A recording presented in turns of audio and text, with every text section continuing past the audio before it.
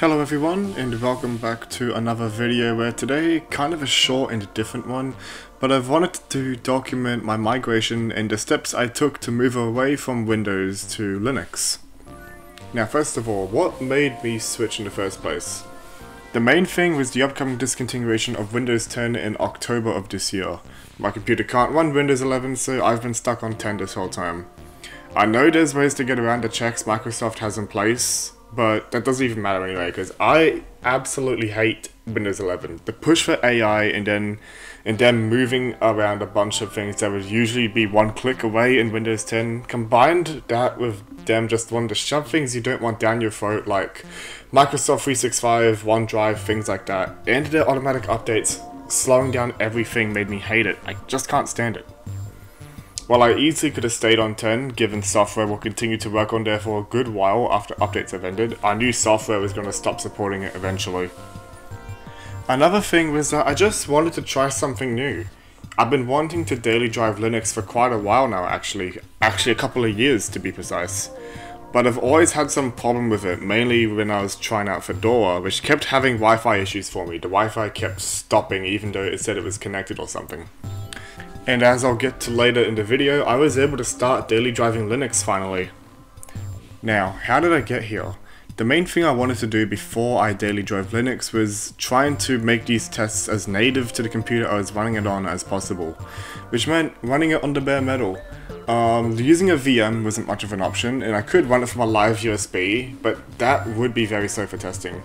So I decided to get myself a cheap 240 gig SSD, install Linux to that, and then swap out the drives every so often. I took days where I test drove Linux with things I do under my Windows install, see what works, get a feel for things like the terminal, and if I needed to change anything or install any dependencies later. I documented everything I needed to do in a separate document so I could just copy paste the commands when it was really time to switch.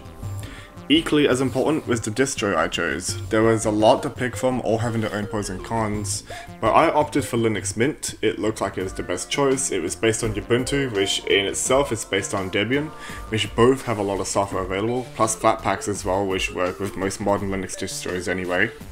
Thankfully, from my testing, all the software I used on Windows worked pretty perfectly on Linux, either through Wine or the software having a native Linux version available. Even modding software I used, like Crate and Switch Toolbox, which I expected to have some kind of problem, worked absolutely perfectly under Wine.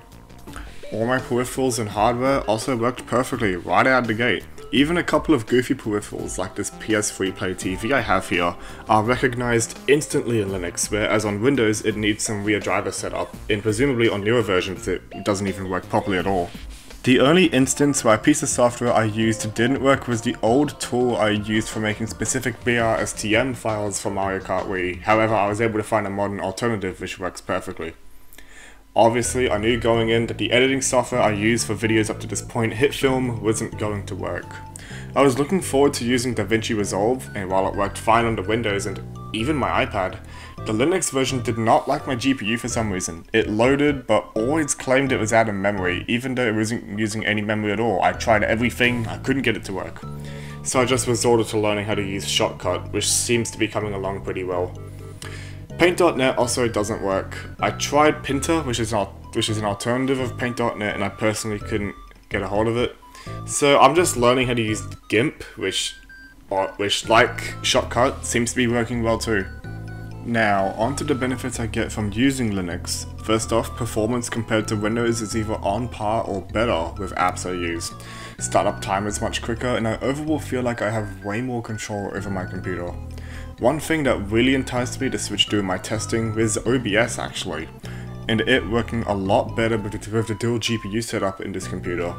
I'm able to reduce load on the Intel integrated GPU which is used for encoding by having OBS render on the Nvidia GPU which can't do video encoding for some reason. For whatever reason, this can't be done on Windows, but after a bit of setup, works perfectly fine on Linux. I do have a couple of old things that don't work due to them needing some sort of proprietary driver, but for those I could just spin up a virtual machine anyway. In conclusion, I'm really enjoying the switch to Linux I made, and learning how to use it is fun as well. And if you're looking to make the switch, I'd say give it a go. Use a VM and see if your favorite apps work. Or go to about I did and install it to another hard drive and swap between them and see how you like it. me personally, I'm on Linux for keeps. I don't think I can go back to Windows now, I absolutely love it. So anyway, that's about it for now. Thank you for watching this kind of short video. I'm sorry for the lack of uploads, I'm just really kind of trying to find ideas. It's kind of hard sometimes for me. I've had life things going on and just could just be laziness, I don't know.